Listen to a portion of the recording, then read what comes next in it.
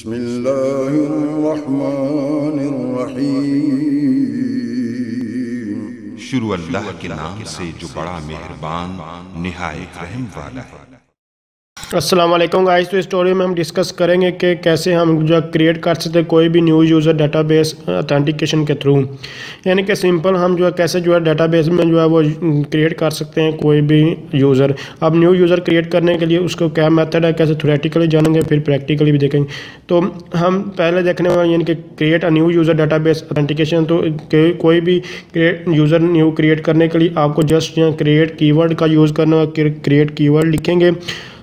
کی ورڈ لکھنے کے بعد، جیسے کہ یہ اس کو آپ چینج نہیں کر سکتے کریٹ کی ورڈ لکھیں گے، اس کے بعد یوزر یہ بھی کی ورڈ ہوتا ہے جیسے کہ آپ نے ڈیٹا بیس وغیرہ کریٹ کرتے ہیں کہ کریٹ ڈیٹا بیس کریٹ کچھ سینونامز کریٹ ٹیبل جو بھی ہے، اس طرح یہ یہی نام آپ اس کو چینج نہیں کر سکتے۔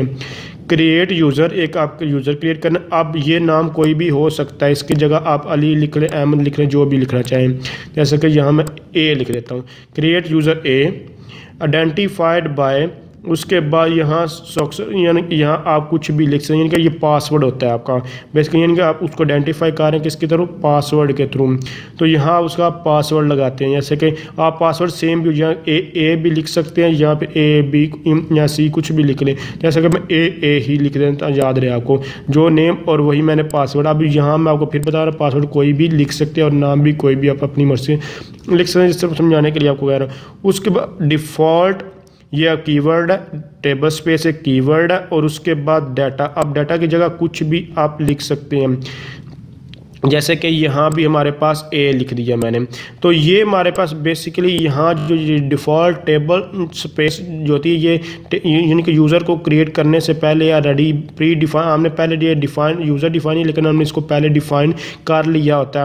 یعنی کہ یہ ڈیفالٹ ٹیبل سپیس ڈیٹا کا مطلب ہے کہ کہاں ہم جو ہم نے یوزر کریٹ کیا، اس کا ڈیٹا کہاں جا کر جو ہے وہ سٹور ہو۔ بیسیکلی وہ اس میں جا کر ڈیٹا ہمارا بس سٹور ہوگا۔ تو یہ پہلے سے ہم پہلے ہم ٹیبل سپیس کریٹ کرتے ہیں ٹیبل سپیس کو کریٹ کرنے کے بعد یوزر کریٹ کرتے ہیں، اس کے بعد ہم پریولیجز رول وغیرہ پرووائڈ کرتے ہیں یعنی کہ پریولیجز پرووائڈ کرتے ہیں۔ تو یہ ہم بعد میں دیکھیں گے سمپل ابھی یہاں یہی سمجھیں کہ کیسے کوئی بھی یوزر کریٹ کیا، اس کو یوزر کو کریٹ کرنے کے لیے سب سے پہلے آپ نے یہ کیوری لکھنی یعنی کہ کریٹ یوزر اس کے بعد یوزر کا نیم جو بھی لکھا آئیڈینٹیفائڈ بائی اس کا پاسورڈ جو بھی لکھا یہ ہمارا پہ یہاں تک یوزر کریٹ ہو جائے اس کے ساتھ ساتھ یہ چیزیں آپ کو یہ دو چیزیں تو مین لازمی طور یعنی کہ ڈیفالٹ ہے اور وہ جو آپ نے ٹیبل یعنی کہ جو یوزر کریٹ کر وہ اس کا ڈیٹا کہاں جا کر وہ سٹور ہو۔ تو وہ ڈیفائن کرنا، اس کا اس کے بعد اس کا یعنی کہ یہ سائز جو ہے وہ ڈیفائن کرنا، بس یہ مین چیزیں ہیں۔ باقی آپ آپشنل یہ ڈیفائن کریں یا نہ کریں۔ لیکن پھر بھی بہتر یہ تو آپ اس کو جن چیزوں کو ڈیفائن کر دیں۔ اس کے علاوہ اور بھی بہت ساری چیزیں ہوتی ہیں۔ تو سمپل ابھی آپ اگر آپ کو کوئری پوچھ جاتی ہے تو کوئی بھی نیو یوزر کریٹ کریں ڈیٹا بیس اتھینٹیکیشن کے تھرو تو آپ ایسے ان کو اس کو کریٹ کر سکتے ہیں۔ تو سمپل ابھی پھر اس کو یہ یعنی کہ کریٹ یوزر اس کے بعد یوزر کا نام کوئی بھی جیسے کہ اے بی سی ہے آئیڈینٹیفائر بائے اس کے بعد یہاں ایکس وائی زی جو بھی لکھنا ہے ٹھیک ہے؟ اس کے بعد ڈیفالٹ ٹیبل سپیس ڈیٹا اس کا جو بھی جہاں جو ڈیٹا جا کر سٹور ہو، یہ پہلے سے ہم نے ایک پہلے ڈیفائن جو کیا تھا، اس کا نام آپ کو دینا جیسے کہ اس کا بھی نام میں نے اے دے دیا ہے، کیونکہ اس لیے میں نام سیم دے رہا ہوں۔ پہلے یہاں ڈیفرنٹ نام ہے تو آپ کو یہ سمجھ نہیں بھی آ تو آپ اس کا نام سیم بھی دے سکتے ہیں اور کوئی اور بھی لکھ سکتے ہیں، آپ پہ ڈیپینڈ کرتا ہے۔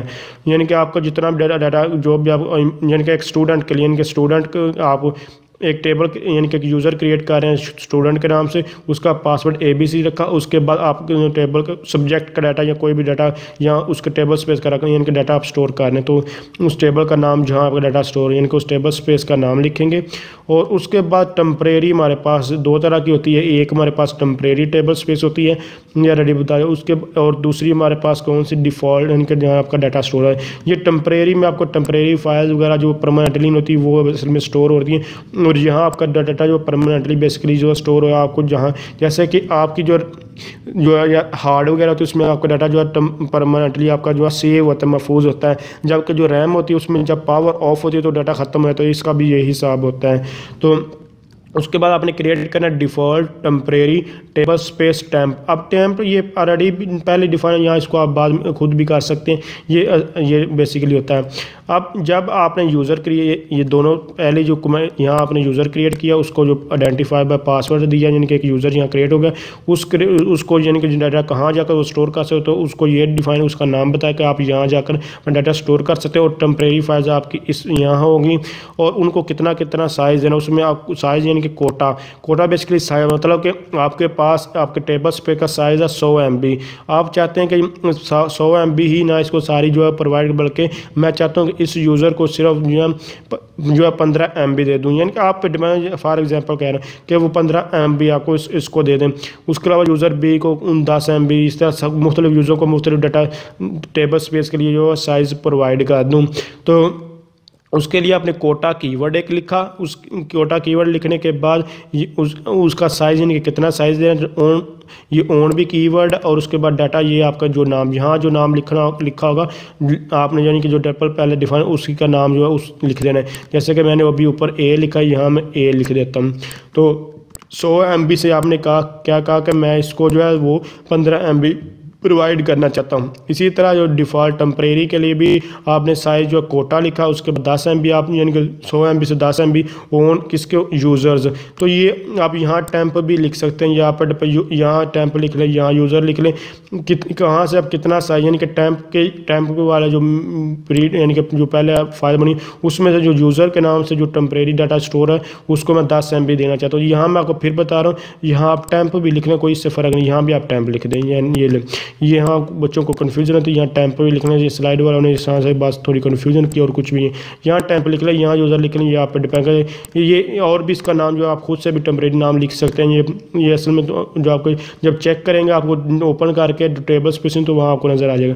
اس کے بعد ہاں، ہم پاسورڈ جو ہے ایکسپائری جو ہے، وہ لگاتے ہیں۔ تو جسٹ یہ کی ورڈ ہے پاسورڈ ایکسپائری اگر لگانا چاہیں تو ٹھیک ہے، نہیں لگانا چاہیں۔ یعنی کہ کچھ دیر کے لیے وہ آپ کا پاسورڈ رہے گا۔ اس کے بعد یعنی کہ آپ نے جیسے کہ کوئی بینک کی ویب سائٹ وغیرہ آپ اوپن کرتے ہیں۔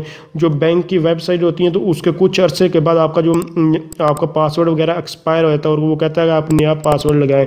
اسی طرح جو ڈیٹا بیس بھی کیا کہتی ہے کچھ دیر کے بعد آپ چاہتے ہیں کہ پاسورڈ کیونکہ ٹائم ٹو ٹائم جو ہے، کسی کو پتہ نہ چل جائے، اسی لیے وہ تھوڑی اتھینٹیکیشن کے بعد آپ کو نیا پاسورڈ لگانے کی جو ہے وہ کہتی ہے۔